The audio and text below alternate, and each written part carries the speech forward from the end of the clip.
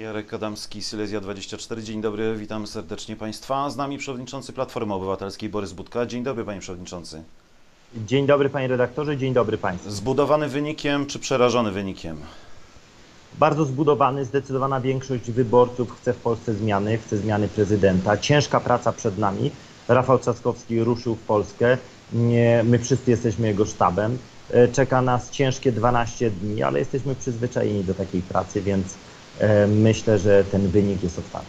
45-28 e, b- to jest pierwsza tura, druga to będzie rzeczywiście, tak jak niektórzy mówią, 50 tysięcy głosów, które zdecyduje. Na razie są wstępne wyniki, jeszcze brakuje 13%. Myślę, że ten wynik będzie w granicach 43 do 30, nie, tak, by pokazywa, tak jak pokazywały to wczoraj te pierwsze exit pole. Natomiast e, to, to będzie bardzo wyrównany, bardzo wyrównana walka wyborcza. To tak jak pan redaktor wspomniał, to może być 50, kilkadziesiąt tysięcy głosów. Wszystko zależy od mobilizacji, dlatego ja też za państwa pośrednictwem bardzo proszę o tą maksymalną mobilizację. E, A skąd się wzięła ta mobilizacja by po stronie Andrzeja Dudy? To były te głosy, które mówiły idź zagłosować, bo ci zabiorą 500+. Plus? Przede wszystkim niesamowita mm, propaganda za publiczne pieniądze. To, co działo się w ostatnich dniach w tak zwanych publicznych mediach, to jest rzecz niebywała, niespotykana w e, 30-letniej historii wolnej Polski. Nadawanie de facto spotów Andrzeja Dudy w wiadomościach, e, nieokraszonych żadnym komentarzem. Czy to pokazuje, że mm, e, ta władza zrobi wszystko, by raz zdobytej władzy nie oddać, ale spokojnie, ja jestem optymistą, bo widzę, że ponad 55% Polek i Polaków chciało zmiany. Jeżeli prezydent Rzeczpospolitej dobrze wypełniłby swoje obowiązki, to zostałaby na drugą kadencję prezydenta. No ale w tych 55% mamy też wyborców e, Krzysztofa Bosaka. To są ludzie, którzy pójdą za Rafałem Trzaskowskim? Też chcieli zmiany. Jest wiele rzeczy wspólnych, jeśli popatrzymy na funkcjonowanie państwa czy też system podatkowy. Różnimy się znacząco w sprawach europejskich, różnimy się znacząco, jeżeli chodzi o kwestie światopoglądowe, ale dzisiaj jest wybór, czy nadal PiS będzie miał monopol i bezkarność we wszystkim, co robi, czy też jednak, jak e, większość wyborców chciałaby, będzie zmiana urzędującego prezydenta. Dla nas każdy wyborca jest tak samo ważny.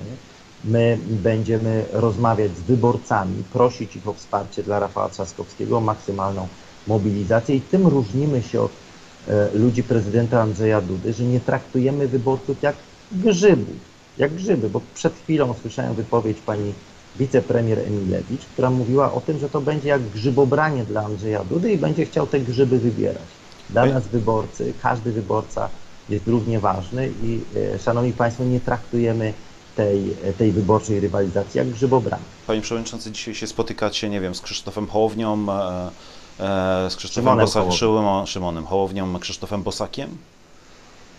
Będą takie rozmowy prowadzone? Będziecie się z nimi spotykać, Ja rozmawiać na Dzisiaj temat... będę gratulował wyniku wyborczego, dziękował za sportową rywalizację kandydatom demokratycznej opozycji. Natomiast kwestię rozmów pozostawiam w sferze rozmów, a nie medialnych doniesień. E, Panie Przewodniczący, by 6 milionów ponad e, w tej chwili to jest taki wynik e, wyborczy Andrzeja Dudy. Tylu ludzi zagłosowało za jego kolejną prezydenturą. Pan się nie boi, że te 6 milionów pociągnie kolejnych wyborców w tej drugiej turze? Przede wszystkim dziękuję wszystkim, którzy wzięli udział w tych wyborach, nawet jeśli głosowali na innych kandydatów, bo to bardzo ważne, by korzystać z tego przywileju. Ja będę zachęcał do tego, by w drugiej turze m, ci, którzy nie poszli głosować, zostali w domu, nie widząc takiego sensu, jednak zobaczyli, że zmiana jest możliwa.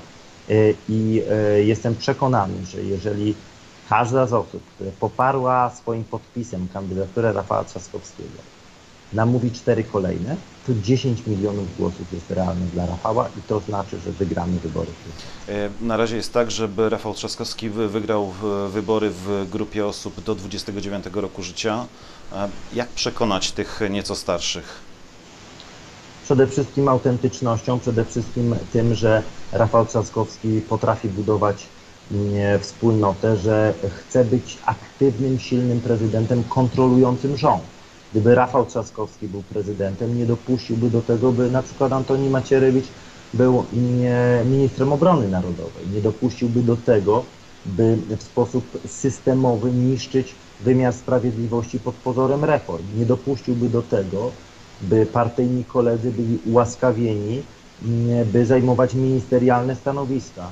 Wreszcie nie, nie łamałby tylu złożonych obietnic, które pan prezydent Andrzej Duda złożył, więc jest wiele powodów, by głosować na Rafała Panie Trzaskowskiego. Przewodniczący, ale umówmy się, by, wydaje się, że by zdecydowało o tym to, o czym mówiłem i co by ludzie między sobą mówili. To znaczy oni wam nie uwierzyli, że, że wy utrzymacie 500+, na przykład.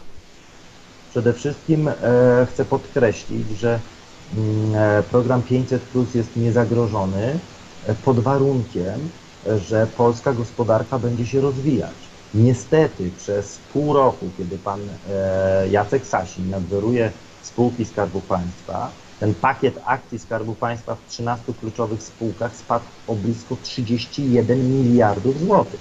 Tak nieodpowiedzialnych ludzi Polska nie widziała od 1989 roku.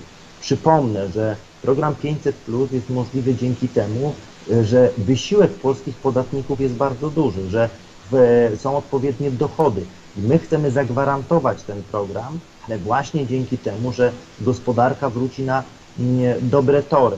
Tymczasem wiemy doskonale, że czeka nas kryzys i my mamy doświadczenie w tym, jak kryzys ekonomiczny przechodzić suchą nogą. Przypomnę, ten największy kryzys po wojnie, dzięki nie, skutecznym rządom Platformy Obywatelskiej i PSL-u udało się przejść go bez zmniejszania świadczeń socjalnych, świadczeń emerytalnych czy cięć w budżetówce i to jest bardzo ważne. Tu jesteśmy autentycznie wiarygodni. Panie Przewodniczący, autentycznie, wiarygodni, natomiast y, sam Pan mówi, że czeka nas kryzys gospodarczy, w związku z tym tych pieniędzy na to 500 plus może najzwyczajniej w świecie zabraknąć.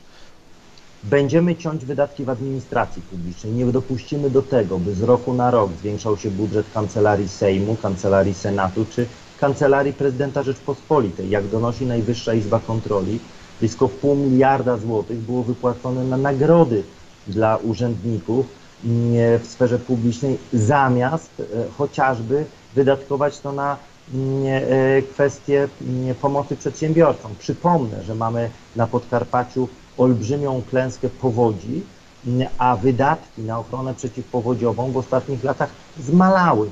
I teraz to jest kwestia priorytetów, to jest kwestia tego, jak zarządza się państwem. Przypomnę, gigantyczne nagrody, które rządzący wypłacili sami sobie, spowodowały, że pani pre, premier Szydło musiała odejść e, z tego rządu, mimo że mówiła, że pieniądze im się należały. To jest zmiana filozofii funkcjonowania państwa i tutaj Rafał Trzaskowski jest osobą wiarygodną, autentyczną, która odbuduje prestiż. A Rafał Trzaskowski powinien się w jakiś mentalny sposób odseparować od szyldu Platformy Obywatelskiej, żeby w tą drugą turę wy, wygrać?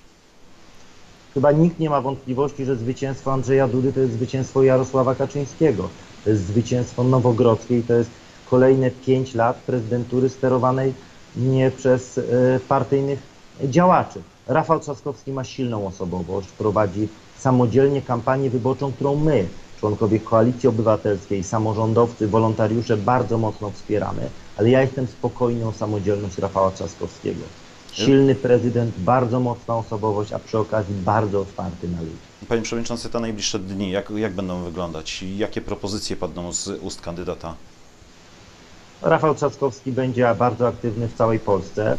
E, Aktywni będą również parlamentarzyści, samorządowcy. Natomiast co do propozycji, to z pewnością będą to kwestie związane z, mm, e, ze swobodą e, działalności gospodarczej, kwestie podatkowe, kwestie związane z obronnością, polityka zagraniczna, e, podmiotowość Polski na arenie międzynarodowej, ale przede wszystkim ta nowa solidarność, bo dzisiaj trzeba budować społeczeństwo, które w czasach kryzysu pomaga najsłabszym, które tak samo pamięta o osobach, które korzystają z opieki społecznej, jak i o przedsiębiorcach, dzięki którym e, polski system podatkowy może m, te świadczenia finansować. Ja mam wrażenie, że przez ostatnie pięć lat prezydentury Andrzeja Dudy zapomniano o ciężko pracujących, zapomniano o tych, którzy prowadzą indywidualną działalność gospodarczą, e, którzy mm, dzięki swej determinacji i ciężkiej pracy pozwalają utrzymać aparat państwowy i o tych ludzi również należy się Panie. Przewodniczący, Tak, to- wielu pracowników, którzy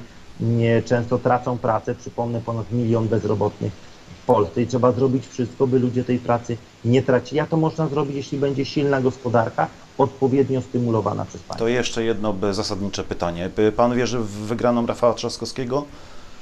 Wierzę, jestem pewien, że ta wygrana jest w zasięgu ręki. Będę każdego dnia pracował dla Rafała Trzaskowskiego i prosił Was, mm, e, drodzy widzowie i słuchacze, o poparcie mm, e, kandydata, który gwarantuje zmianę w Pałacu Prezydenckim.